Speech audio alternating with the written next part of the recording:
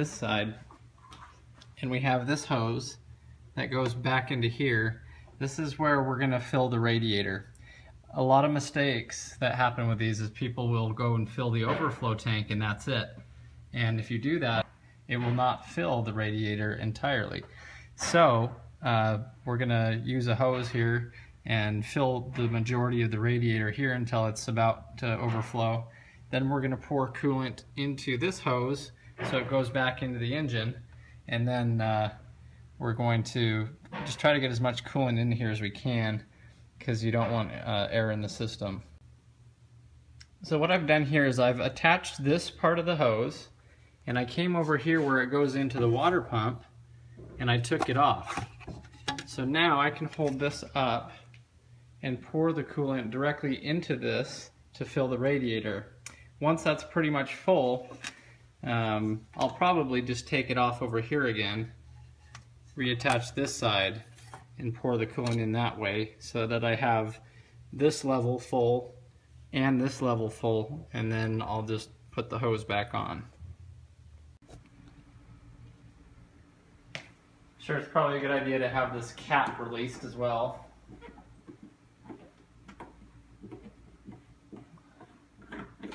You want to make sure that there's enough fluid in here that it's not sucking air back into that system either.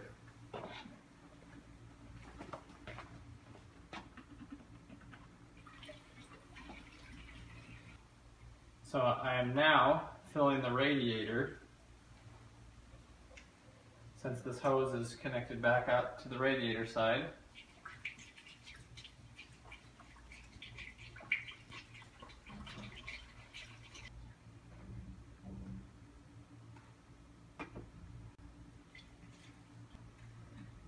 Okay, now that I feel that it's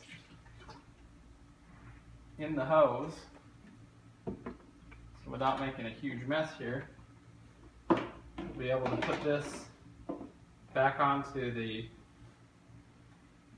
water pump. Okay. Now I'll take it back off over on this side and fill it here.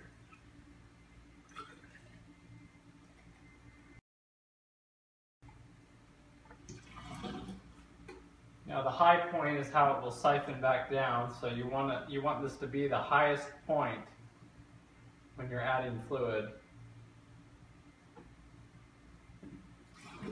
And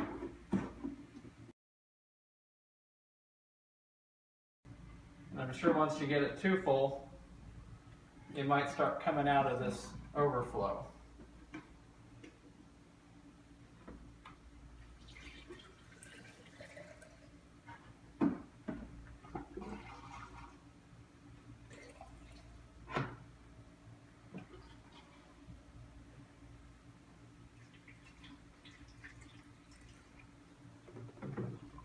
Once again, be careful because eventually it'll come back out of where this hose connects as the system's full.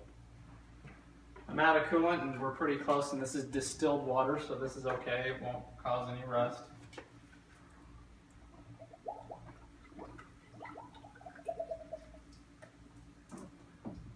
So we're pretty, that's about as full as I can get it right now.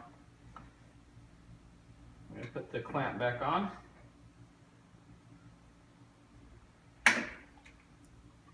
Okay.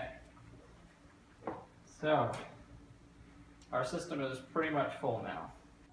So once again, I want to emphasize, you want to have that hose connected to the radiator and fill the radiator and keep that hose high up in the air. And you will see coolant start to come out of the water pump uh, when it's completely full. So then put the hose on the water pump, take it back off of the radiator and fill it again until it starts overflowing out of the radiator and then hurry and put that hose on as fast as you can. Make sure that there's coolant in the expansion tank as well and that's how easy it is and uh, I haven't had any problems since.